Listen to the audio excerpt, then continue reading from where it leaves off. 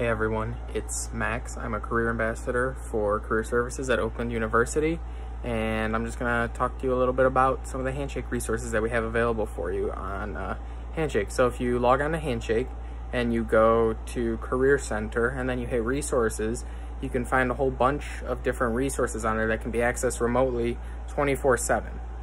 And so on there we have virtual resources for dealing with the new virtual learning and career search world that we're in. Uh, resume building tips, uh, cover letter building tips, interviewing tips, LinkedIn, job search networking, and then everything broken down by your specific career community, which is related to the school or college that you're a part of. So School of Business, College of Arts and Sciences, School of Nursing, so on and so forth.